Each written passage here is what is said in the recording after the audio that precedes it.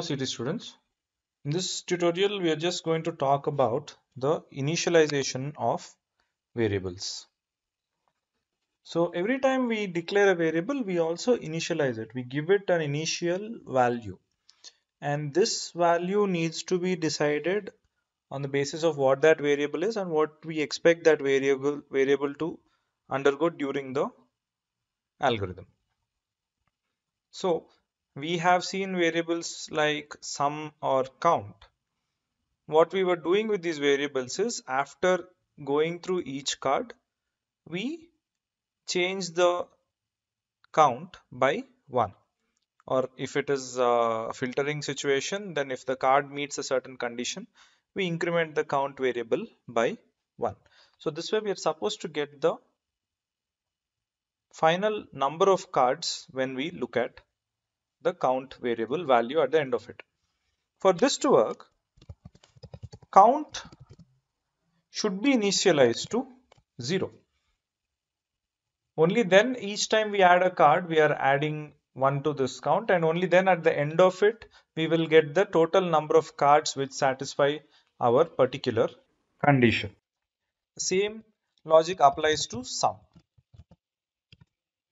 sum also needs to be initialized to 0 because the sum that we are supposed to obtain at the end of the algorithm is what we get from the cards. So only when we start from 0 can the sum variable actually represent the sum that has been obtained through the cards. So these variables would be initialized like this. These are numerical variables. However, we could have a text variable such as name. In case of name, it is text, it is a string as they would call it, and it is not a number. So we at the end of the algorithm we expect a particular name to come out. It could be the name of the highest scorer or the name of the customer who's purchased maximum something in all these cases, it is not a number we are looking at. Therefore, in order to make sure it is text, we can initialize to none, which is a text. But we know that none is not going to be a customer's name, nor is it going to be the name of a student. So none is what we would initialize to names in this situation. Now let's discuss the situation of finding maximum or a minimum.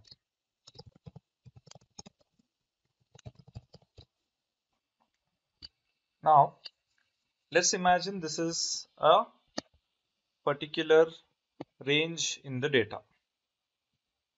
What I mean is let us say these are chemistry scores then this minimum is the least chemistry score in that data and this maximum is the maximum highest chemistry score in that data and all the scores are falling within this range. So to give you an example, in the actual data,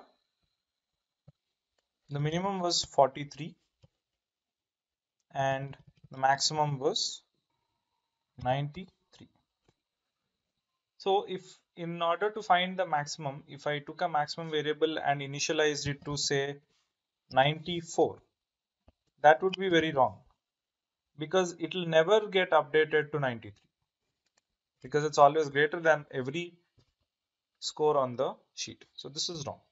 Likewise if I initialize the minimum variable to say 35 this would also be wrong because it is always going to be lesser than everything in the data.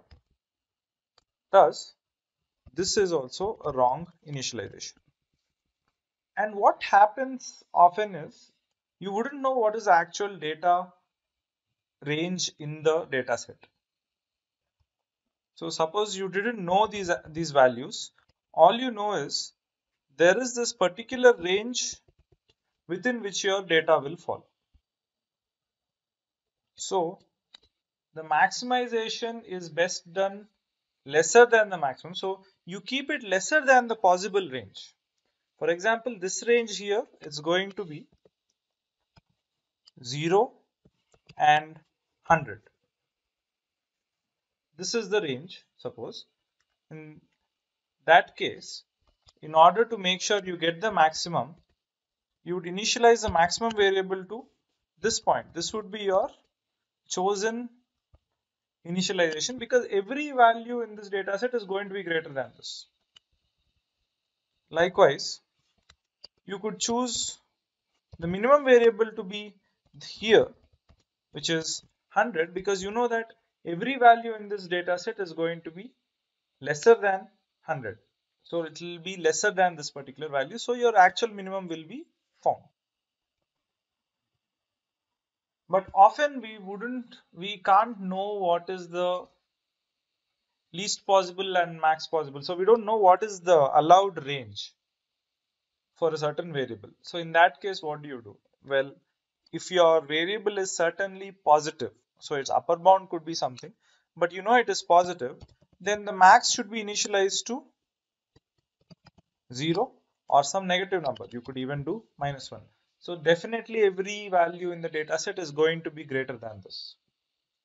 And supposing you have you don't know the range again, but you know it is some finite value, then for minimization you should use some sort of a meaningful logic. Ideally, you should use the largest number that the system provides to you.